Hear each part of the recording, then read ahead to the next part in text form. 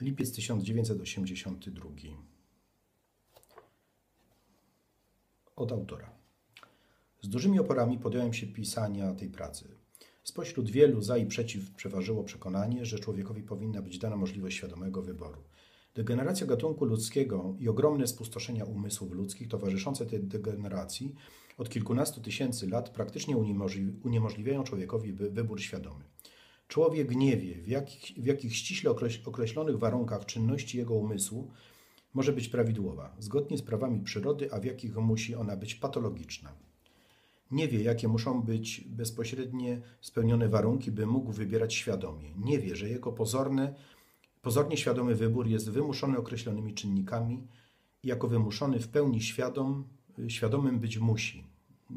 Przepraszam jest wymuszony określonymi czynnikami i jako wymuszony w pełni świadomym być nie może. Nie jest.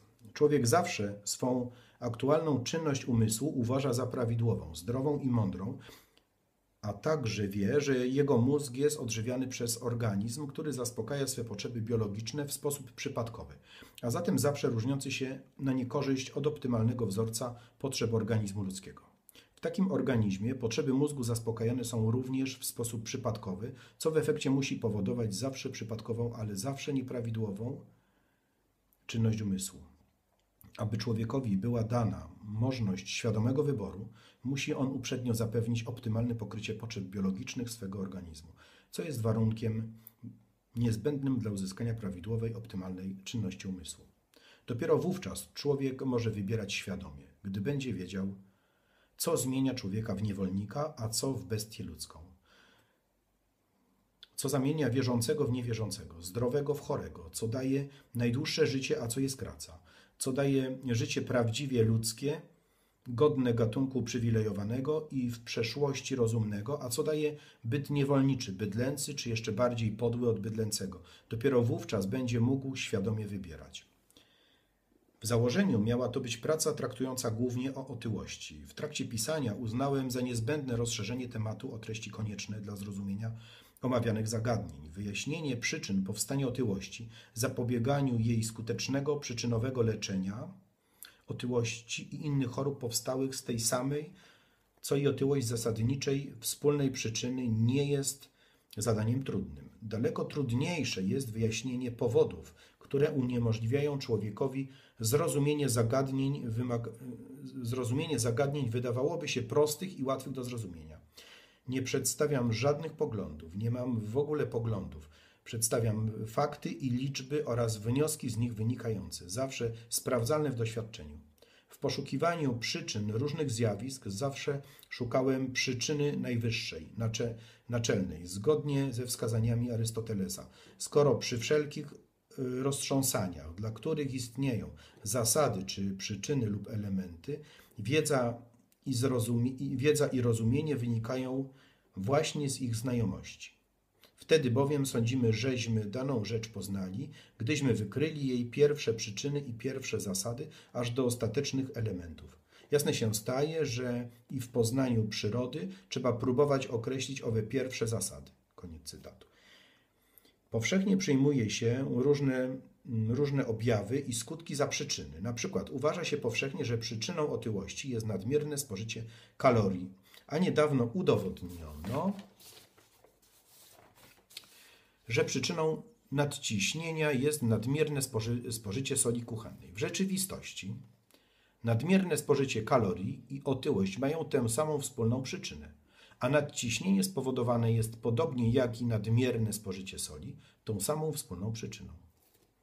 W sprawach zdrowia i chorób życia ludzkiego w ogóle, czynności umysłu ludzkiego, przyczyn różnych zjawisk spotykalnych y, w życiu gatunku ludzkiego, w życiu jednostek i społeczeństw, w poglądach na wartość różnych produktów spożywczych, na ich rolę w powstawaniu różnych chorób, w poglądach na działanie wielu innych czynników wpływających na zdrowie i życie człowieka występuje tak wielkie i różnorodne pomieszanie pojęć, tak wiele wiary, a tak mało wiedzy, że bez uporządkowania tych zagadnień według ścisłych kryteriów, znalezienie przyczyn naczelnych, na, znalezienie przyczyn naczelnych rządzących życiem gatunku ludzkiego nie jest możliwe bez zastąpienia dotychczasowych poglądów wiary, sądów, mniemań, przekonań, przypuszczeń.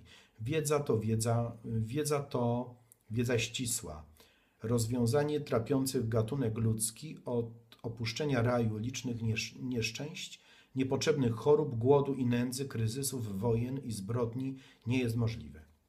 Gdyby współcześni ludzie umieli zorganizować życie na Ziemi w sposób rozumny, gdyby nie występowały sprzeczności między jednostkami, między jednostkami a społeczeństwami, między klasami i warstwami społecznymi, między narodami, gdyby pojęcia wiary i religii było niezna, gdyby pojęcie wiary i religii było nieznane, choroby niespotykane, gdyby ludzie mieli jeden wspólny ludzki język, jedną wspólną ojczyznę ziemię, gdyby żyli znacznie gdyby żyli znacznie dłużej niż przedstawiciele wszystkich innych gatunków, gdyby byli jak kiedyś gatunkiem zdrowym i dominującym, gdyby nie tracili pracy, surowców i energii na zbrojenia, nie mordowali się bez końca w, ciągu, w ciągłych wojnach, dla których zawsze znajdują istotne powody, to można byłoby przyjąć, że to, co ludzie nazywają nauką, jest wiedzą rzeczywistą.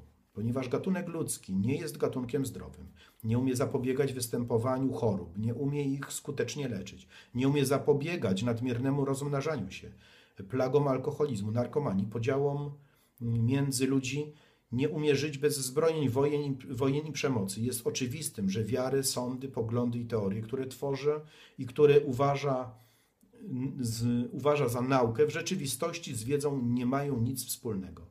Nie jest możliwe, by ludzie, którzy nie potrafią rozwiązać podstawowych, najważniejszych dla gatunku spraw w sposób niespotykany przynajmniej u wszystkich innych wyższych gatunków, byli gatunkiem zdrowym, by mogli posiadać wiedzę. Ludzie w niektórych dziedzinach potrafią tworzyć rzeczy wspaniałe, ale w tych dla, gatunku najważniejszych przegrywają zdecydowanie ze wszystkimi wyższymi gatunkami.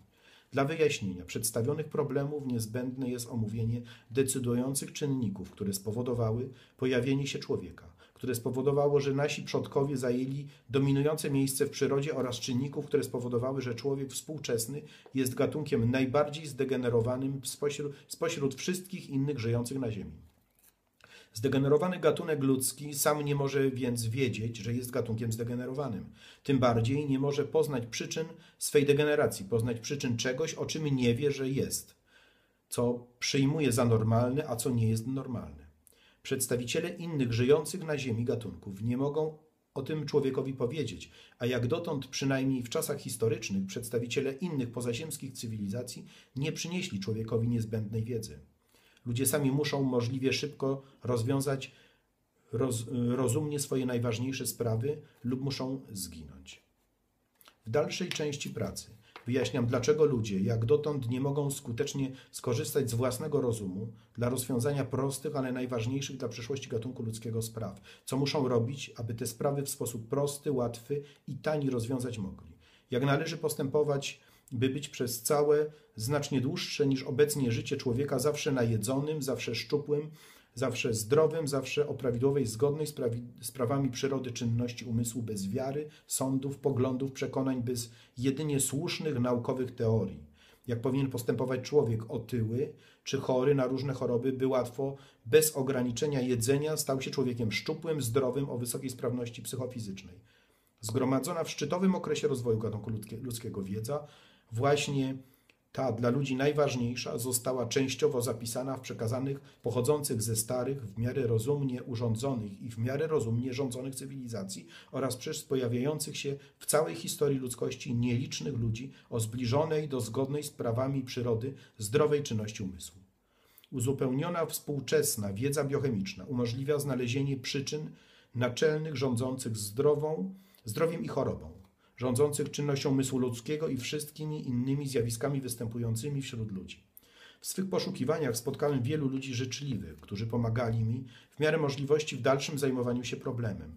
W różnych okresach, w różny sposób udzielali mi swego wsparcia następujący ludzie: profesor Julian Aleksandrowicz, profesor Stanisław Berger, Bronisława Chrząszcz, Jerzy Grotowski, premier Piotr Jaroszewicz, wiceminister nauki i szkolnictwa wyższego Mieczysław Kaźmierczuk, redaktor Stanisław, Stanisława Podgórska, docent Czesław Półtorak, dr Włodzimierz Ponomarenko, profesor Henryk Rafalski, Marian Spychalski, redaktor Jerzy Surdykowski i inni.